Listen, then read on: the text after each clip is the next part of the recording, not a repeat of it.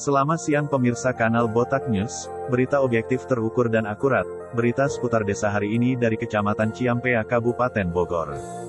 Giat Musrenbang Desa di Desa Cinangka. Siang ini di Badminton Sport Hall Desa Cinangka, Kamis tanggal 22 September tahun 2022, dilaksanakan Musrenbang Desa Penyusunan Rencana Kerja Pemerintah Desa tahun 2023. Acara ini dibuka Camat Ciampea yang diwakili oleh Ivan, Kasih Pemerintahan Kecamatan Ciampea. Acara ini dilakukan setiap tahun untuk merencanakan kegiatan rencana pemerintah desa di tahun depan. Hadir dalam kegiatan tersebut tim Musrenbang Kecamatan Ciampea, Ivan Kasih Pemerintahan, Bedi Kasih Ekbang, Kepala Desa, Perangkat Desa, UPT Infrastruktur Irigasi, UPT Infrastruktur Jalan dan Jembatan, UPT Pertanian, perwakilan dari sekolah, Babinsa, Babin Kamtipnas, PKK, Ketua RT RW dan Linmas. Rapat musrenbang ini dibuka oleh Ivan Kasih Pemerintahan, mewakili Ciampea.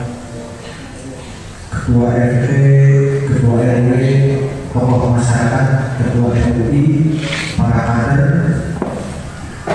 tokoh agama, tokoh pemuda, izin permohonan maaf Pak Haris Pak Camat tidak bisa menghadiri forum musrenbang hari ini beliau lagi ada kantor dengan PMK di Cibinong. Kita buka. Assalamualaikum warahmatullahi wabarakatuh. Saya Abdul Rahman, Kepala Desa Cinangka. Alhamdulillah tadi sudah melaksanakan agenda rapat musliman. Alhamdulillah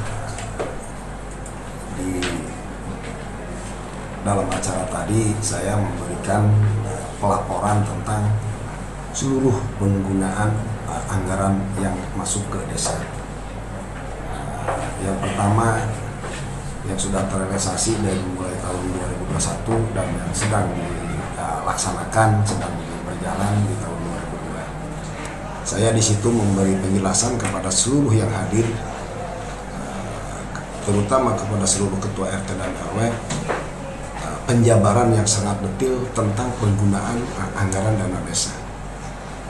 Yang mana anggaran dana desa ini terbagi ke empat, empat bagian. Yang pertama adalah ADD.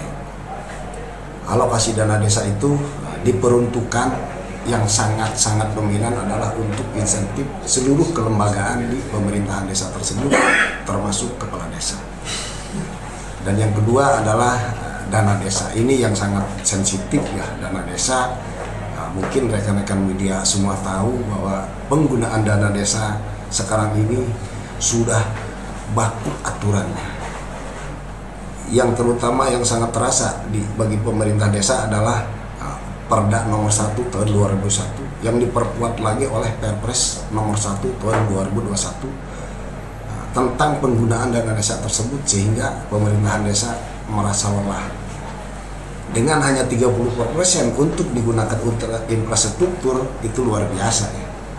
Tapi kami sebagai kepala desa tetap sepahit dan seperti apa itu kondisi di pemerintahan tetap program desa harus berjalan.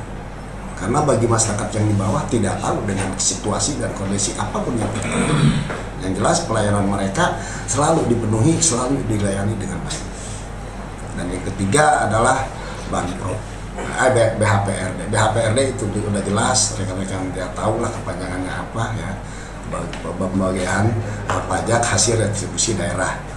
Jadi seperti itu. Itu sangat jelas juga penggunaannya. Di situ saya jabarkan secara detail eh, kepada seluruh eh, audien atau hadirin yang ada di situ. Dan yang ketiga adalah banprop banprop sangat sangat sangat jelas di situ penggunaannya. Yang diprioritaskan adalah untuk uh, ruang lingkup yang ada di ya, desa tersebut. Dari mulai bangunan kemudian tata ruang di desa di dalam desa. Nah itu jadi seperti itu. Kenapa saya jabarkan seperti itu? Tujuan saya adalah supaya seluruh orang-orang yang terlibat di lembaga pemerintahan desa tersebut paham dan ngerti tentang penggunaan anggaran dana desa. Sehingga dengan pahamnya mereka dengan ngertinya mereka tidak ada yang istilahnya uh, kritik uh, yang kurang baik, protes yang kurang baik karena mereka sudah paham. Jadi seperti itu dan alhamdulillah di acara musyawarah tadi uh, pihak kecamatan diwakili oleh kaur perencanaan Pak Bedi dan juga kaur Esra Bapak Ipan, Bapak Ipan. Nah, alhamdulillah juga dari UPT UPT hadir dari mulai UPT pertanian, UPT uh, jalan ya, UPT irigasi, alhamdulillah mereka hadir. Dan saya juga bangga, alhamdulillah di acara ini rekan-rekan media bisa hadir, ya, bisa mengekspos sekaligus uh, artinya apa yang sudah di, uh, dilakukan pada hari ini di Desa Cinangka. Mungkin dengan adanya transparansi dari pemerintah desa ini akan membawa manfaat dampak yang bagus buat artinya buat seluruh masyarakat yang ada di wilayah desa Cinangka. Terima kasih. Assalamualaikum warahmatullahi wabarakatuh.